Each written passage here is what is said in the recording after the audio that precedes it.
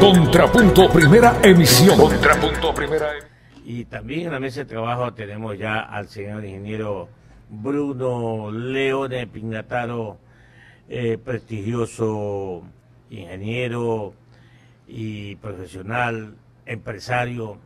Y estos sí trabajan a pulso, ¿ah? Lo hacen a pulso.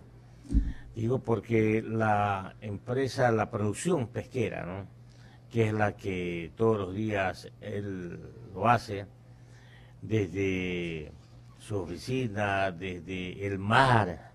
Y bueno, esto no es fácil, no es fácil. Y eso vamos a conversar porque Bruno ya tiene mucha experiencia, eh, dirigente gremial también en la producción, eh, ha sido pues presidente alterno de la Cámara de Industrias, actualmente es el presidente de la Cámara de Pesquería, entonces, eh, estamos hablando con la persona indicada y déjeme decirle, repetir esto, ¿no?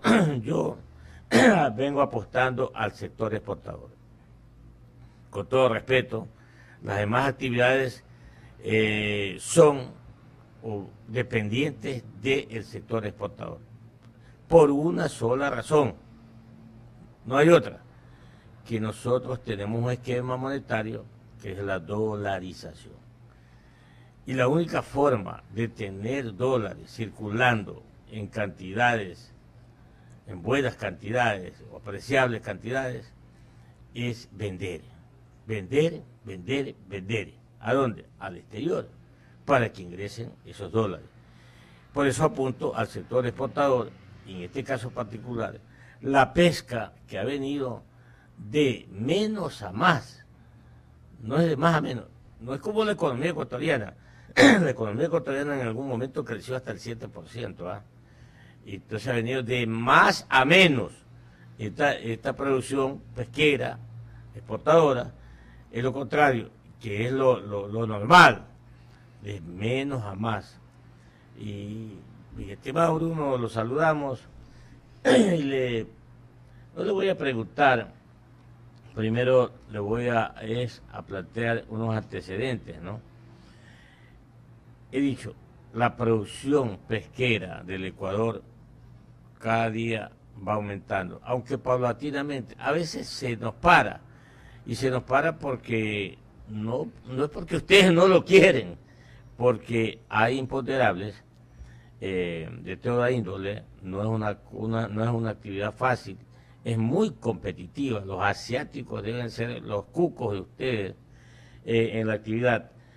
¿Cómo está cómo se está desarrollando este, esta producción, estimado Bruno, en el exterior, cómo están luchando ustedes para ir luego al interior del país a ver qué hacen, han hecho los gobiernos y qué está haciendo este gobierno para seguir eh, estimulando o para estimular esta producción que es importantísima y como un duro concepto de, llegada de ingresos de dólares, eh, ustedes son vitales eh, para la economía ecuatoriana. Bienvenido, buenos días.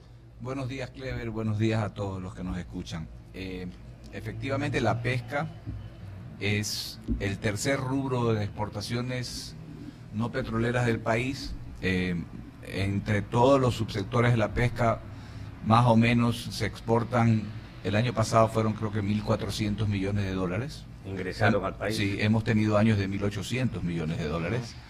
Ecuador es el segundo productor del mundo de atún, es el cuarto productor del mundo de eh, conservas de pelágico pequeños, sardinas en lata, y es el noveno productor del mundo de harina de pescado. Eh, eso son palabras mayores, eso no es poca cosa. Eh, poder llegar a tener esas ubicaciones en el mundo requiere, como usted lo ha dicho, mucho trabajo, mucho esfuerzo, mucha inversión usted cuando está en, este sector de la pesca, como usted también lo acaba de decir, se tiene que enfrentar a unos imponderables de todo tipo. El primero de todos, la naturaleza.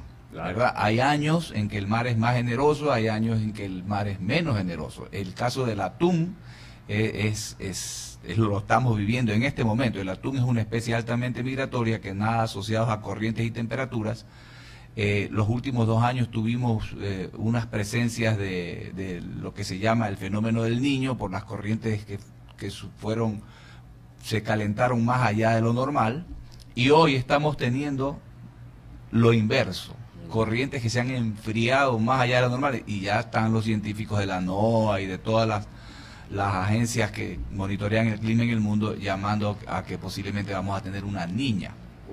Entonces, pero esos son procesos naturales, nosotros estamos acostumbrados a eso, no, digamos, nadie le tiene miedo a eso, lo que hay que estar es preparado, porque como usted tiene que vivir día a día, usted tiene que guardar, como decían nuestras abuelas, agua para mayo. Entonces usted no se puede, en, en una buena pesca, en una buena temporada de pesca, sus barcos vienen llenos, usted vende, eh, logra pues hacer unos buenos excedentes de caja, usted tiene que saber que tiene que guardar un porcentaje para las épocas que seguramente van a venir, como son las que están pasando. Que ya cuando hablemos de la parte nacional hablaremos de que ese símil que no hizo el gobierno anterior con los altos precios del petróleo.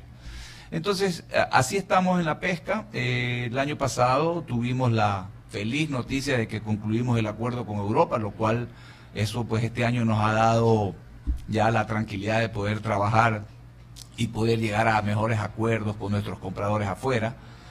Pero a, Europa apenas va el 60% de las exportaciones, es lo más importante, pero tenemos otro 40% que tenemos que vender. Entonces ahora estamos empeñados en poder lograr un acuerdo, por ejemplo, con los Estados Unidos. hoy, eh, a fines de este año, se vence por ejemplo, el SGP, el Sistema General de Preferencia. Ahí hay unos cuantos productos que ya están gozando de ese beneficio arancelario, pero hay otros como el atún, el brócoli y la alcachofa, me parece, que están queriendo entrar. Hemos enviado información, el embajador de los Estados Unidos, con quien hemos hablado, eh, nos está ayudando en eso. Eh, eh, pero eh, las negociaciones son muy difíciles. Ecuador está siendo objeto de una especie de lobby o de una influencia en contra por parte de las compañías petroleras que tienen litigios con el Ecuador y eso se torna más difícil la decisión en el USTR, que es la institución de los Estados Unidos que maneja el comercio exterior. En esa lucha estamos, hemos hablado con el ministro Campana, lo tiene claro, él, ha hecho ya viajes para allá y él está empeñado y nos ha dicho que el presidente quiere también dar los pasos necesarios para poder llegar a un acuerdo con los Estados Unidos. No tenemos embajador en Washington aún. El otro día vimos que el beneplácito que estuvo esperando por más de 100 días o 90 días, me parece, el doctor Alexis Mera no fue otorgado. Y entonces eh, el presidente en alguna intervención eh, televisión, de televisión dijo que tenía unos nombres, pero que no los decía por respeto, etcétera.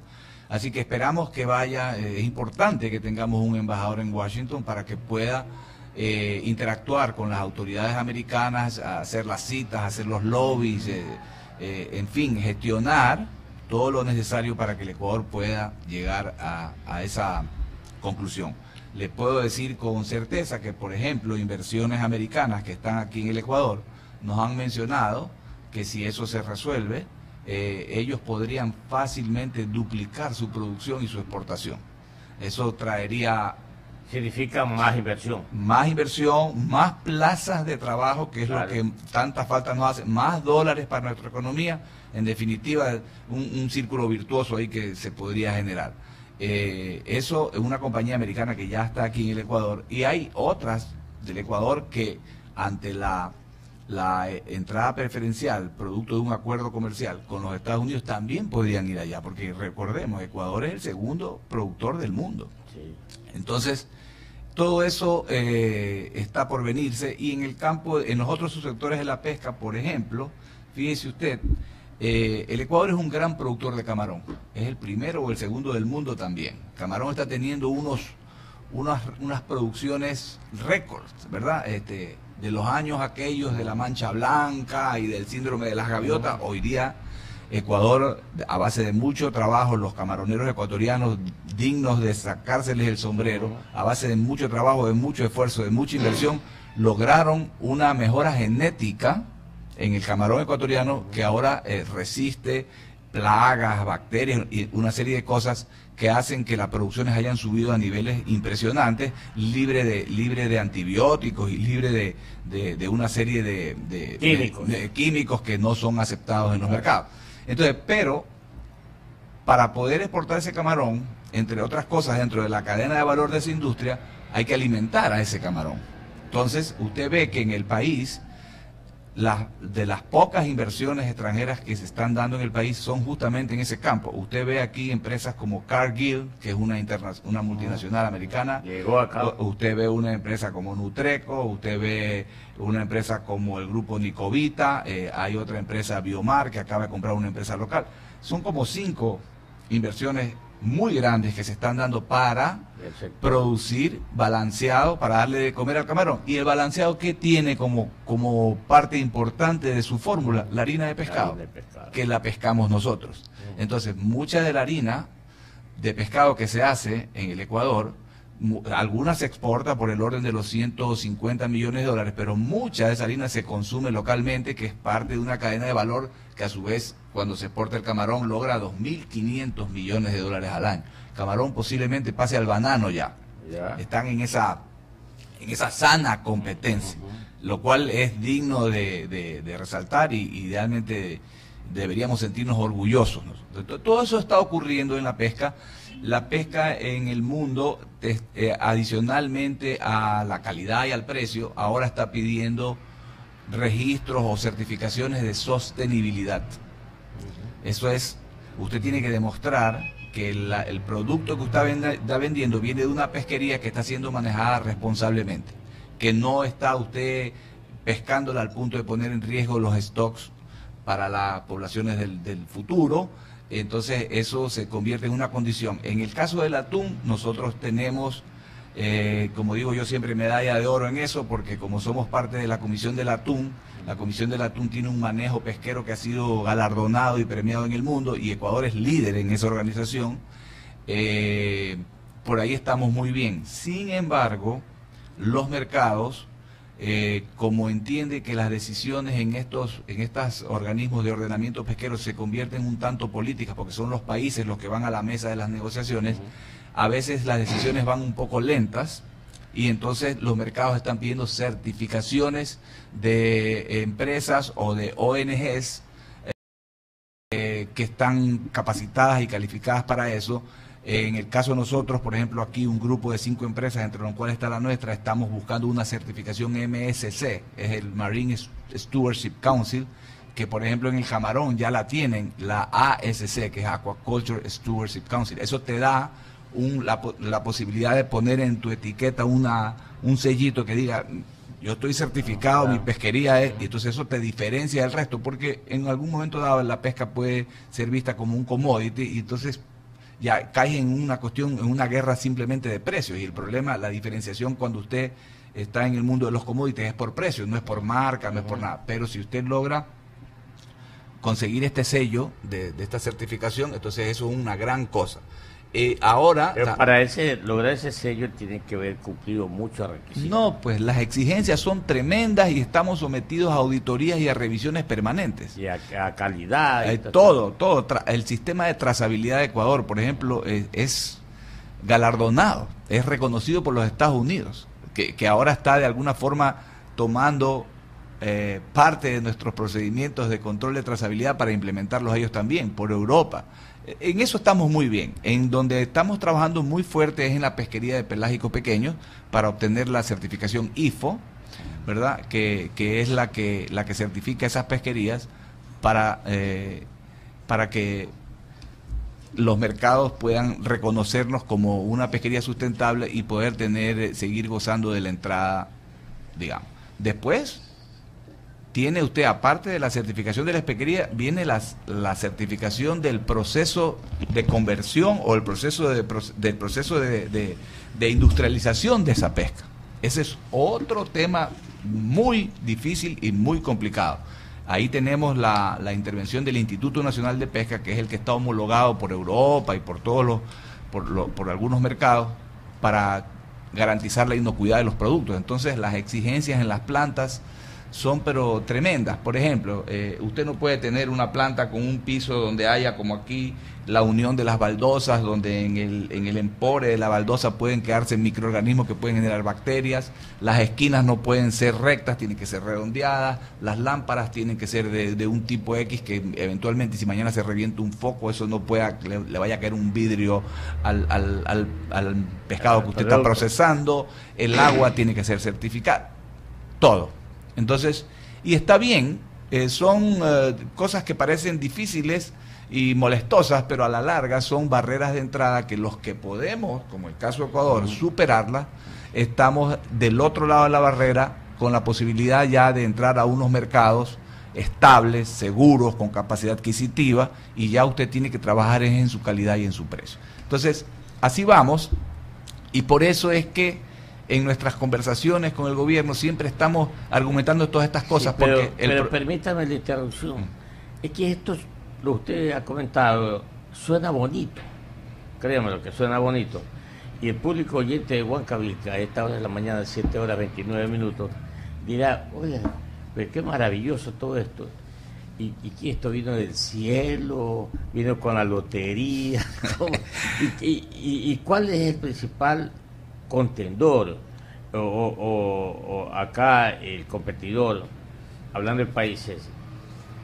Perú, que tiene su industria de, harina y pescado. Sí. y cómo está Colombia? en ese orden con ustedes en la en pesquería, por ejemplo? A ver, eh, nuestro principal competidor en el atún son los asiáticos. Sí, los, tailandeses. Ellos ellos procesan más o menos 700 mil toneladas al año, nosotros 450 mil. Ahí vamos, ¿no?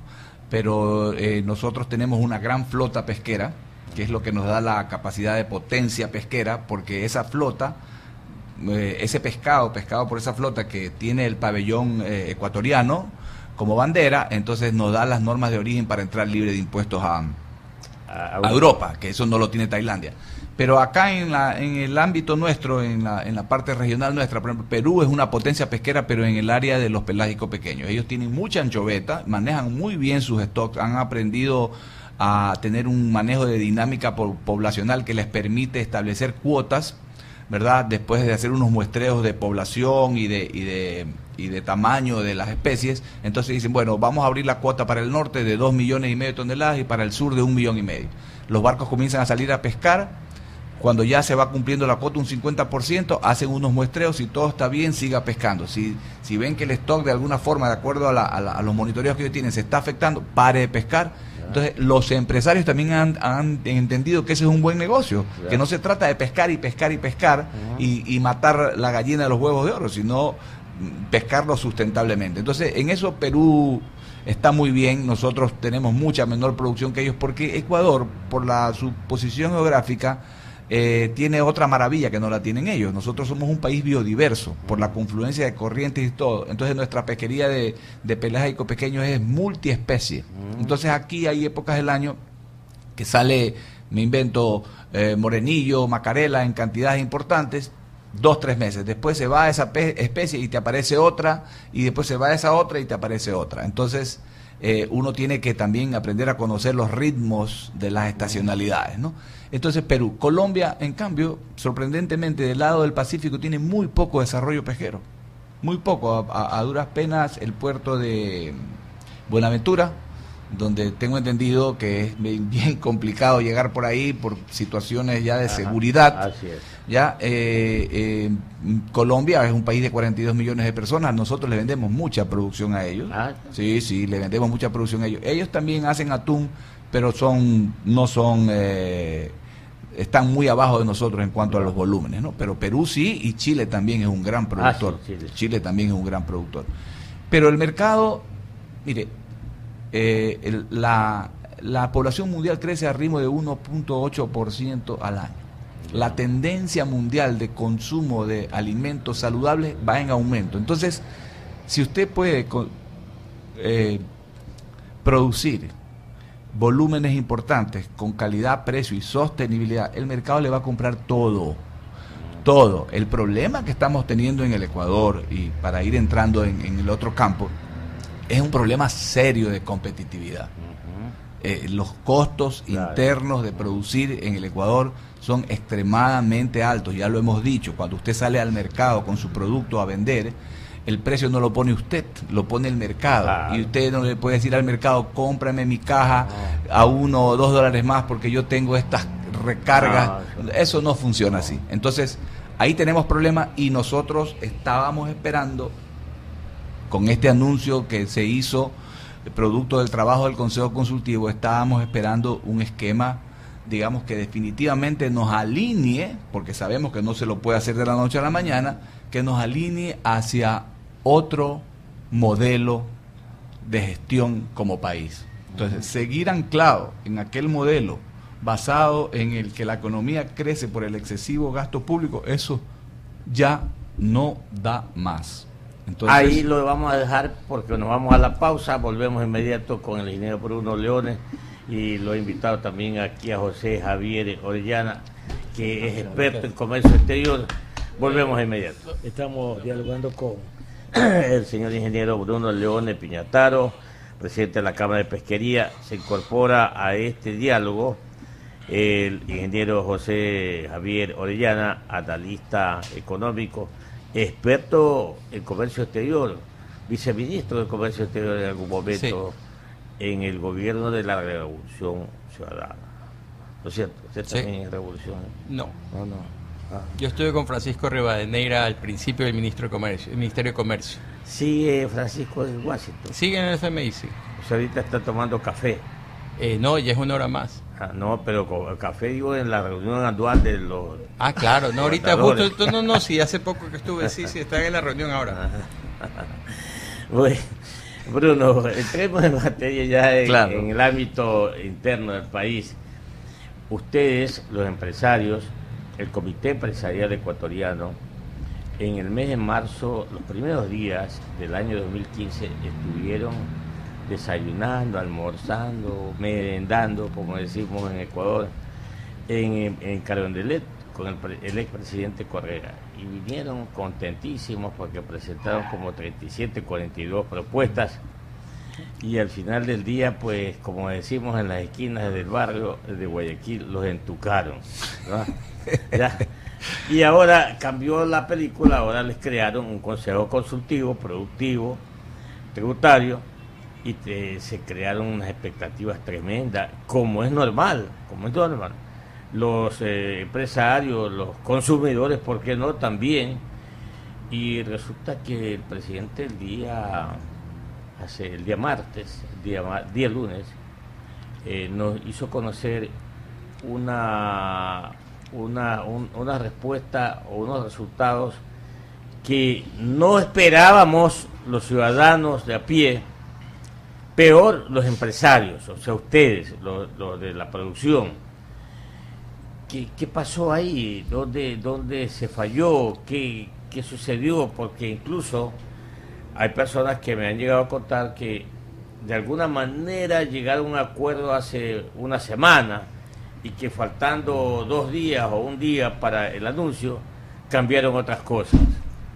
Bueno, a ver, primero lo, la, lo que usted relata de la, aquella reunión en Carondelet y esto es, tal cual, pero yo le digo, nosotros somos ecuatorianos comprometidos con el Ecuador. Claro. Y nosotros lo único que hacemos es trabajar, trabajar y no vamos a dejar de asistir a cada uno de los foros, diálogos, mesas o como se llame, a expresar nuestros puntos de vista y a contribuir con nuestras ideas y con nuestras opiniones. Correcto.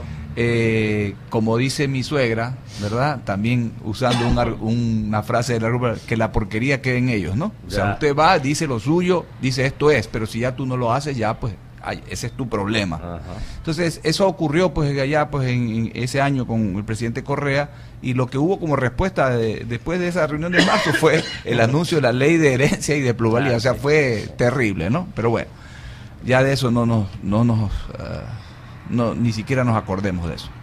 Eh, en esta ocasión, el presidente creó esta instancia de diálogo, esta, esta institucionalidad, para que tanto el sector público como el sector privado se sienten, discutan, se crearon mesas de trabajo por 26 eh, sectores económicos, hubieron propuestas de todo tipo, 1.400, algunas de carácter transversal, es decir, que tanto el sector... Uh, eh, cacautero, como el bananero, como el camaronero, como el, artesanal de la economía popular y social, les parecía que estaba bien. Y así fueron. Eh, hubieron discusiones muy fuertes, hubieron líneas rojas, que esas quedó claro que esas no se iban a, de, de, ninguna forma a ver de lado y lado. Por ejemplo, el gobierno dijo que el remover o quitar o reducir el ISD era una línea roja. Nosotros los empresarios también dijimos ciertas cosas que no nos parecían que eran líneas rojas y hasta ahí está perfecto porque en el diálogo usted plantea sus temas. Eh, la noche anterior al, anuncio. al anuncio del presidente, sin que nadie conozca, se introdujo esta figura de los tres puntos al impuesto a la renta. Entonces, o sea, el domingo en la noche. Eh, a ver, el anuncio, el, anuncio fue el miércoles. El anuncio del presidente fue el domingo, el lunes fue feriado. Sí. El martes se reunieron. Ya. Ahí salió esta vaina y el y el miércoles el presidente hizo el anuncio. Sí, fue así. Ya. Entonces, eso salió el martes en la noche. Entonces, pues, usted comprenderá el malestar que eso causa. La, y, Perdón, y después de 90 días dialogando, dialogando y 24 horas antes Así es. Entonces, eh, lo, que ocurre, lo que está a mi modo de ver detrás de todo eso es una visión equivocada del modelo de desarrollo. O sea, eso ya lo hemos dicho. Ellos siguen pensando pues en que tiene que seguir eh, eh, el Estado, este Estado, como dijo el alcalde Nebo, este Estado obeso, inflado, ¿verdad? Tienen que seguir teniendo un, un nivel de gastos que muchos de ellos son ineficientes e innecesarios y entonces tienen una necesidad cada vez mayor de dinero. Eh, el ministro ha dicho ayer que las medidas le van a dar 1.900 menos los 300 que van a devolver por ahí de, unas cosas que van a devolver a unos drawbacks y unas cosas a los exportadores. El efecto neto es 1.600 millones más para la caja fiscal. Entonces yo entiendo, no, yo entiendo que el gobierno tiene que de alguna manera tratar de balancear sus cuentas fiscales. Yo entiendo que la macroeconomía tiene que estabilizarse, pero ¿El punto cuál es?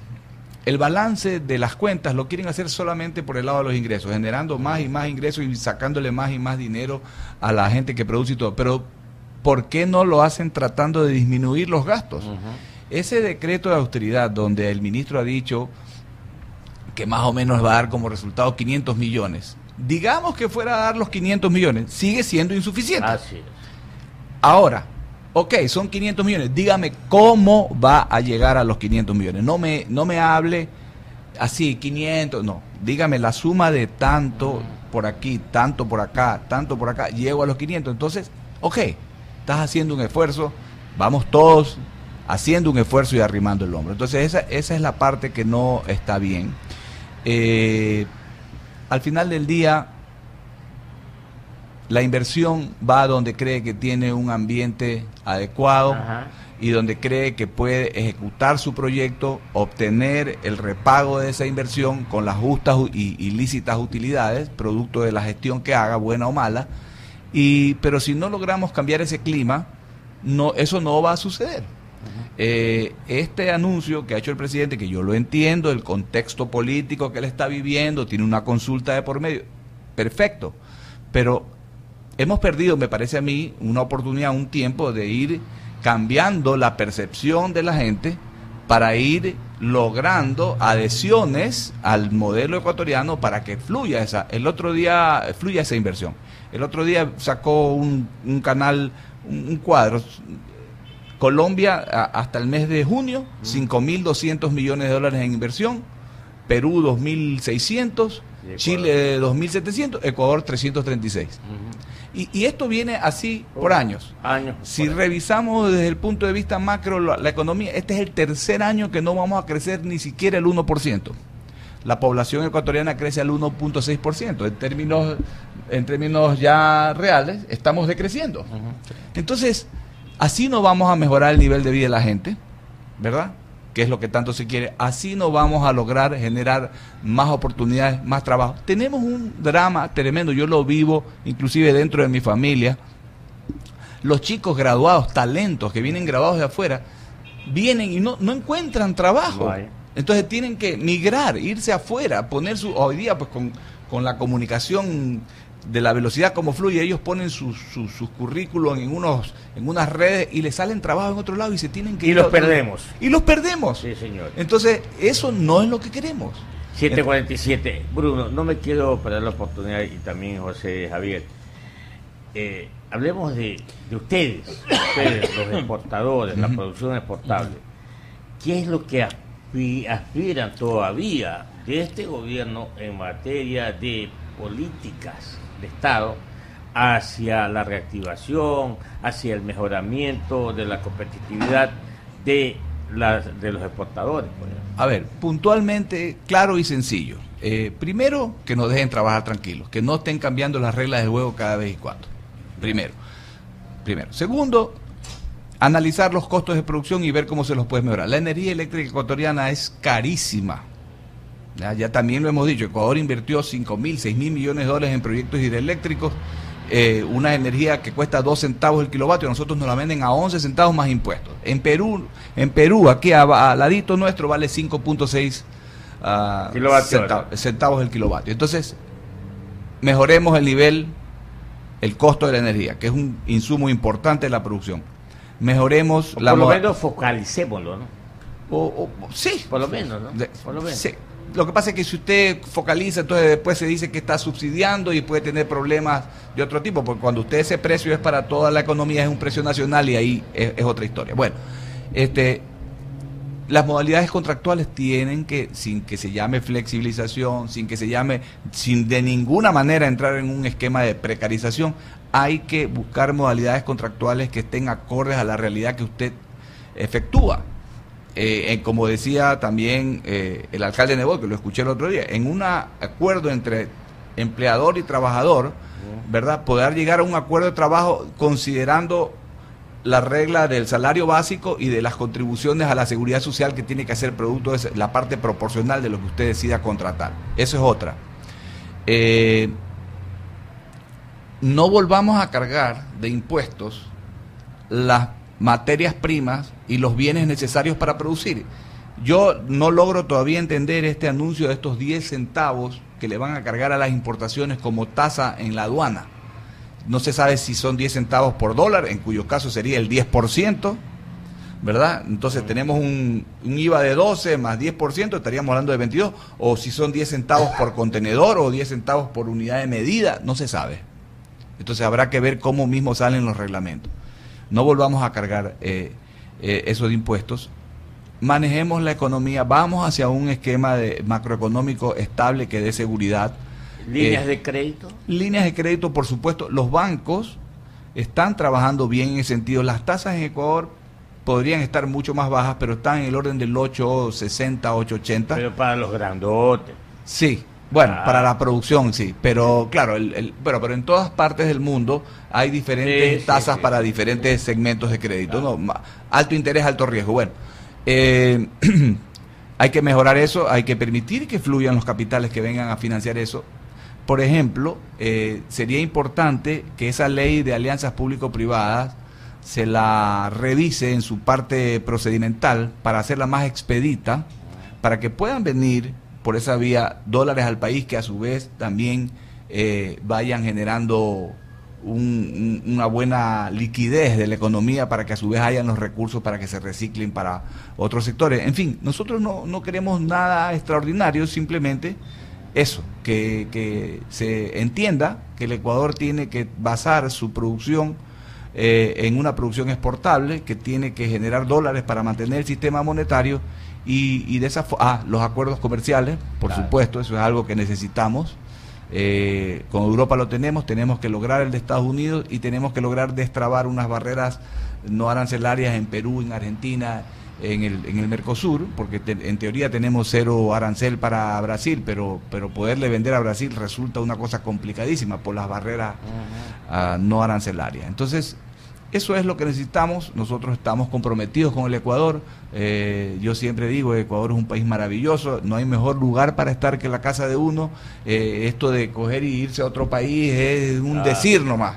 Porque el que no tiene de dinga tiene de mandinga. Entonces usted mejor se rasca las pulgas dentro de su casa. José Javier, con la experiencia que tiene usted, ¿cuán difícil es competir afuera? Ah, depende del producto, pero acuérdate que todas las exportaciones compiten en un mercado global y básicamente son tomadoras de precio. Entonces, por ejemplo, ellos compiten con Tailandia, los atuneros. Y, depende del mercado, porque por ejemplo, yo recuerdo una empresa española que estaba poniendo plantas en Marruecos, se me escapa el nombre ahorita, para bajar su costo de producción que en algún momento en una reunión... Garavilla. En, sí, una reunión, bueno, no voy a mencionar, pero una reunión en Manta en noviembre del 2013, conversando con ellos, estuve un tris de convencerlos que movieran las plantas a, a Ecuador. Eh, eh, unos de Vigo, de, de la parte de, De Galicia. De Galicia, sí, sí. Y me acuerdo que conversamos del tema y decían, mira, aquí llega mucho la producción, todo, pero el tema es el acuerdo. Porque ellos te hablan de que, por ejemplo, las plantas atuneras de ellos en Europa tienen muy pocos empleados, son altamente automatizadas. O sea, no es necesariamente el costo de labor, allí sería más bien la cuestión de, de que aquí la pesca llega y se baja en manta y iría directamente a una de estas plantas. Pero tuvimos conversaciones, al menos en un momento dado se volvió bastante serio el tema. Lo que pasa es que no había acuerdo en esa época. Pero son las plantas de ahora de atuneras no son tan eh, como las de Ecuador, son mucho más automatizadas las europeas. Podemos aspirar a esas plantas a Bruno. A ver, sí. eh, esta, yo conozco esas plantas. Ellos están ya en el tema de la revolución 4.0, ¿no? Es que la robótica y todo. Claro. Eh, pero hay, hay, efectivamente, ellos tienen incorporada mucha tecnología, que yo también lo he dicho, esa es otra forma de ganar competitividad, inco- incorporando tecnología, pero si, si me recargas de impuestos los software, los equipos o las máquinas, pues es un problema. Eh, eh, la mano del hombre, en este caso de la mujer, porque es la que limpia el pescado, es insustituible. Entonces, en esas plantas que menciona José Javier, efectivamente hay mucha tecnología en los procesos de cocción. Por ejemplo, eh, rápidamente, si hay tiempo, le explico. Usted descongela el pescado, lo esviscera y después lo, lo pasa a un sistema de cocinadores. Después de que usted ha cocinado el pescado, dependiendo de qué tipo de pescado, qué tamaño, hay unas fórmulas, ¿verdad? Usted desconecta la cocción, el, pescado tiene que pasar a un área de, rehidratación y refrigeración y de enfriamiento para luego pasar a las mesas a limpiarse. Ellos, por ejemplo, tienen un esquema que hacen esos tres pasos en uno solo. Tienen unos cocinadores inmensos que están manejados por computadoras. le- el, el operario le pone la fórmula, entonces lo cocina, lo enfría, lo rehidrata, y entonces ahí se ahorra un paso enorme. Inclusive ellos, eh, la, el retiro de las vísceras, que acá en el Ecuador se lo hace previo al- a la cocción, ellos lo hacen después de la cocción. Eso eh, antiguamente no era permitido, por, por, por ejemplo, por el estándar kosher, hoy día, ya se, hoy día ya se permite. Entonces ahí ahorran muchísimo personal, pero al final del día llega a una mesa donde una mujer tiene que limpiar, ¿no? Entonces eso, eso no se puede sustituir. Por eso es que allá eh, la hora eh, hombre o la hora mujer es de 20 euros. Oh. Entonces, sin embargo, lo hacen porque tienen toda esta tecnología. Ya después, una vez que el, que el pescado pasó la limpieza, todo el resto del proceso es automatizado. El llenado, el, el empaque, eh, el embodegado, todo es robótica, todo está muy bien sistematizado. Entonces, así, eh, ¿verdad? Uno va ahorrando eh, costos en el la producción. Esto de, este tema de la revolución cual- 4.0 y la robótica va cogiendo tal fuerza en el mundo que, por ejemplo, ya Bill Gates por ahí dijo, bueno, si los robots van a, reemplazar la, mano de obra del ser humano, habrá que pensar en ponerle impuesto a los robots. O sea, hacia allá va la cosa, ¿no? Y mira una ventaja de los acuerdos. Yo recuerdo un productor eh, ecuatoriano de, que enlata eh, atún, que manda, ventrescas realmente, que manda el estómago, que lo mandaba a España. Un gran problema que ellos tenían era traer el aceite de oliva desde España. Esto te hablo del año 2013, 14. Ahora ya con el acuerdo no hay problema. Y ya ves como producto que se vende en los supermercados de Ecuador atún en aceite de oliva, que es algo que no se veía antes. Claro, que es una calidad superior, ¿no?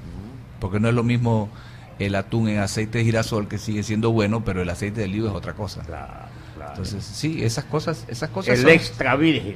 Sí, claro, claro. Sí. ¿Cómo ves el tema de la marca sectorial que está desarrollando el ministerio? Porque estaban desarrollando una marca para el atún. Sí, sí, la marca Ecuador. Bueno, ¿cuál es la idea? No, la idea es de que eh, cuando esta marca esté en la percha de algún supermercado, el aquel consumidor que coja esa esa lata tiene que la idea es de que el tipo entienda que detrás de esa lata hay toda una cadena de valor que cumple los conceptos de pesca responsable, de que no precariza al trabajador, de que cuide el medio ambiente, etcétera, etcétera. Es, esa es la idea, pero eh, el Ecuador, eh, eso ayudaría, sí, pero el Ecuador tiene esa, esa, esa percepción en el imaginario de la gente. El producto ecuatoriano es excelentemente calificado. El- la calidad del producto ecuatoriano y la sostenibilidad repito, de sus procesos están altamente calificados. El proceso de trazabilidad en el Ecuador, o sea, para, para, que los que nos escuchan entiendan, o sea, el Ecuador es capaz de decirle a usted, este pescado que está en esta lata fue cogido por el barco Pepito en el lance 2 del día tal en tal lugar. Y fue procesado tal día. o sea, ese sistema de trazabilidad es realmente impresionante. Y, y, no es que lo tenemos ahí. Todos los años vienen auditorías de Europa, de la Dirección General de Sanitaria, de la, de la Dirección General del Mar, a revisar los procesos, los procesos del INP, que es el que tiene la responsabilidad de certificar los productos, los procesos de las plantas, de los barcos también ahora. Entonces ellos van a los barcos, los barcos tienen que tener una serie de normas, por ejemplo.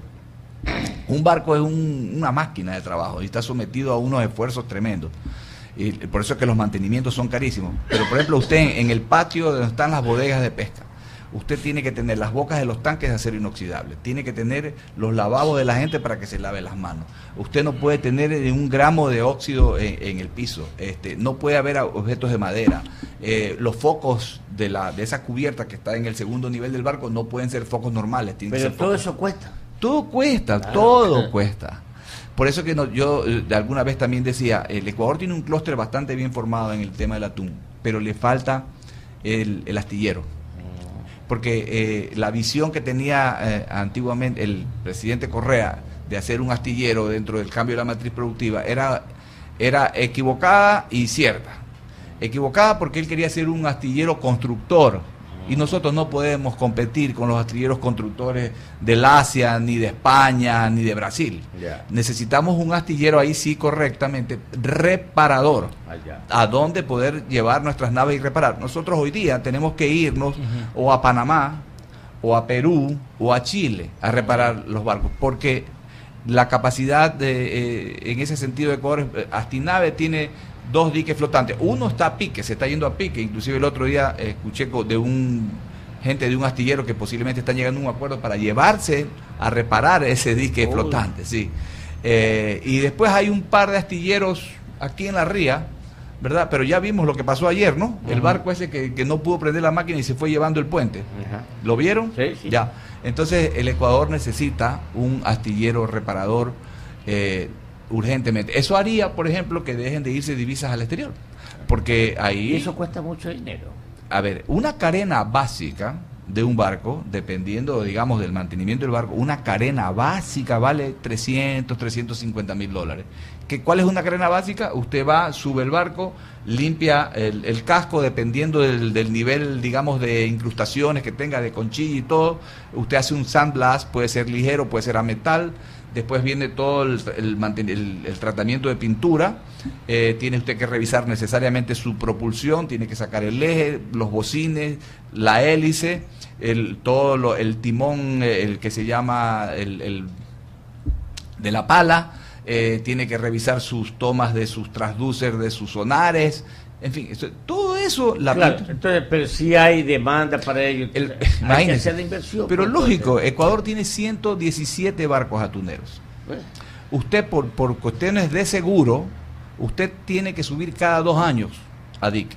Nosotros usamos un esquema de, de, mantenimiento y de pintura que estamos entre los 24 y los 30 meses, porque dependiendo de los meses del año.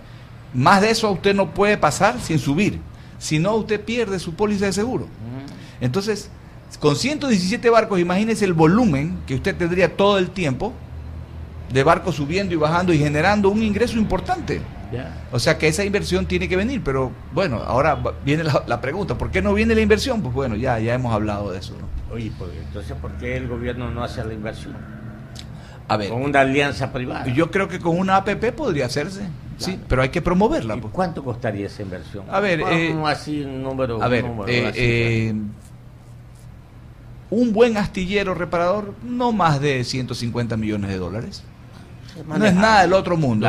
Pero eh, hubo un proyecto, cuando se estuvo hablando de eso, eh, en Posora, ¿ah? eh, en el área donde se está construyendo el, ahora el, puerto de aguas profundas, ahí hay, ahí hay un área de terreno interesante que en algún momento dado fue calificada como apta para hacerla. Entonces, se puede hacer, sí se puede hacer. Pero no hay las reglas. Ya. José Javier, para terminar. Eh, no, no, nada por mi lado. eh, esto de los diques secos, yo me acuerdo haber visitado uno, es fabuloso porque son barcos de 200 metros que los meten, o sea, les van limpiando todo por debajo. Es, es impresionante cuando se lo ve ya desde el piso, ¿no? Sí, sí. Inclusive, eh, eh, un astillero en realidad lo que es un gran taller metal mecánico, ¿no? Ah. Tornos, fresadoras, taladros, pulidoras, en fin. Eh, y y ese, mm, esa unidad productiva podría ser, por ejemplo, eh, eh, en esa época, cuando se hablaba del astillero, por ejemplo, eso, ellos tenían un contrato, me parece, para hacer todas las torres de iluminación de los nuevos tendidos eléctricos. Bueno, todo eso se construye pues en un taller metal mecánico y eso es lo que es un astillero. Entonces, puede tener inclusive otros usos y ot- para dar o- otros Claro, servicios. claro. Por ejemplo, fíjese, el, el astillero que nosotros íbamos en Chile, en Iquique, que eh, ya cerró, ellos le daban servicio a la flota, que tiene una gran flota, pero le daban también servicio a la industria minera. Al, al norte de Chile, allá en el, en el desierto de Calama, donde hubo el drama de los 33, ahí hay una gran industria minera No, y ellos, ellos les daban servicio a sus torres de perforación. Tenemos los profesionales para ello, acá. Eh, a ver, sí, los, sí, hay, sí hay Sí. buenos ingenieros navales. La Politécnica tiene una, una facultad de ingeniería naval. Hay, hay, hay gente buena. Soldadores nuestros, aquí hay. Nosotros tenemos unos soldadores que son unos magos, porque recuerden, nuestros, nuestras embarcaciones son bien antiguas, ¿no? Y hay- se necesita reparar. Entonces, eh, eh, en otro lado el concepto es saca y pon nuevo, ¿no? Acá no, acá es repara. Y tú ves a unos soldadores que realmente hay que sacárseles el sombrero.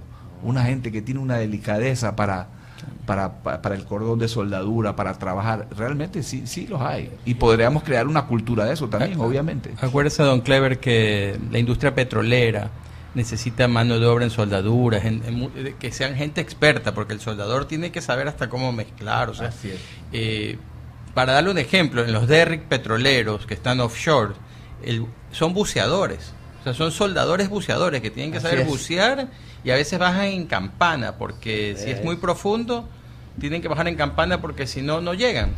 O sea, no, no, no, eh, eh, aquí en Ecuador tenemos por exactamente lo que tú dices, porque aquí no podemos comprar la nueva. En otros lados te sacan la puerta, te ponen la puerta Así nueva. es. Aquí hay que... Es, es- es- es así. Bueno, finalmente, Bruno, eh, ¿qué le decimos al gobierno? Todavía puede resolverlo porque no ha enviado el paquete de reformas a la Asamblea Nacional. Todavía, ¿tú crees que podemos decirle, dejemos el 22%, no lo toquemos el impuesto a la renta? De pronto subimos de 300 a 400, 500 mil dólares esta, esta libre pago de impuestos a las pymes, qué sé yo, algo. A ver, eh, bueno, el presidente ha hecho su anuncio, su palabra pues tiene que tener una credibilidad y, y- y nosotros no podemos otra cosa más que creer en lo que él ha dicho, pero lo que quisiéramos ahora es que eh, esas, esas declaraciones del presidente se deben de convertir en decretos o en proyectos de ley. Que cuando se redacten esos decretos o proyectos de ley, se redacten de tal forma de que sea expedita, Ah. digamos, la aplicación de esa, de esa idea que él mencionó, que no se llene de trabas. Porque, por ejemplo, dice, ok, eh, vamos a ir a una reducción del anticipo al impuesto a la renta sujeto y condicionado a que tal cosa, tal cosa. Entonces, si comenzamos a complicarnos con ese tipo de cosas, eh, la medida o el deseo que el presidente tiene de, de ayudar por, de, digamos, de impulsar la producción por ese lado, no va a dar el resultado. Entonces, eso. Y segundo, que como nada está escrito en piedra, que Ajá. vayamos monitoreando las cosas para ir haciendo los ajustes e introduciendo o incorporando las mejoras que sean necesarias. Y yo creo que en esta andanada primera ya está dicho lo que está dicho, eh, pero nosotros por lo menos no dejaremos de decir lo que tenemos que decir y, y el gobierno y sus ministros y sus autoridades también tendrán que ir monitoreando y viendo qué, qué otro cambio. Cuando vean que las cosas no funcionan, cuando vean que la situación sigue deteriorándose, bueno, van a pensar y van a decir, bueno, ¿qué más tenemos que hacer? no? ¿Cuánto le adeuda el, el gobierno a los exportadores en materia de impuestos? Bueno, eh, por el tema del drawback, tengo entendido que algo así como, como unos 115 millones de dólares. Eh, 115 sí, millones sí, de dólares. algo así. Y por los CATS, me parece que son como unos 30 millones de dólares. Te Sí. cuento que el drawback lo saqué en mi época. Me tocó, yo mandé al coordinador de exportaciones a hablar con Carlos Marx Carrasco, pensando que iba a ser una reunión complicada, resultó que estaba muy de acuerdo. El problema es que no lo han pagado. Sí, pues. El problema es que, o sea, está allí en la ley. El problema fácil, es que no lo han pagado desde abril o junio del año Eh, pasado. eh, el 2015 está impago y el 2016 está impago. Entonces, ¿Hay ah, algún ofrecimiento? Sí, van a... eh, mm, Por eso es que el ministro habla de que en 1900 me dan las medidas, pero con lo que tengo que entregarle al sector, en realidad el efecto neto es 1600, por ahí está. O sea, van a pagar esas deudas. Y esa- ofrecido estar al día permanentemente. a ver, eh, eso es lo que dicen, eh, que van a, van a cubrir esa, esa deuda impaga, ese- esos valores impagos, no hablemos de deuda, esos valores impagos, las devoluciones del IVA que, hacen los, que se le hace a los exportadores y a los productores directos de los que exportan, las van a hacer mes a mes y lo van a, van a simplificar los trámites, también se ha dicho eso. Eh, para el 2017 no hay nada y para la proforma del 2018 se va a poner una cantidad ahí para que, hay que habrá que ver cómo la reparten, José Javier, eh, de 100 millones de dólares. Se pidieron, se pidió más, pero no hay más. Entonces, 100 millones, habrá que ver cómo se reparte, digamos. Vea usted. Estimado Bruno, muchas gracias por estar con Gracias, nosotros. Clever, como siempre, un gusto estar No, aquí. no, y, y ojalá que vengan mejores días, ¿no? Porque la economía está estancada, Bueno, parada. si me permite un último mensaje, Claro. eh, eh, decir que tengamos fe, ¿no? Tengamos fe en el Ecuador, eh, más allá de los gobiernos o más allá de las personas, tengamos fe en el Ecuador. No hay mejor lugar para estar que la casa de uno, que es nuestro Ecuador. Trabajemos todos los días como a Dios le gusta y no dejemos nunca de expresar lo que pensamos. En ese esquema de libertad, pues digamos lo que tenemos que decir, con respeto, con altura, pero no dejemos de decir lo que pensamos, a todo nivel. Y, y, eh, y en eso estoy totalmente de acuerdo con el presidente, el diálogo es la vía.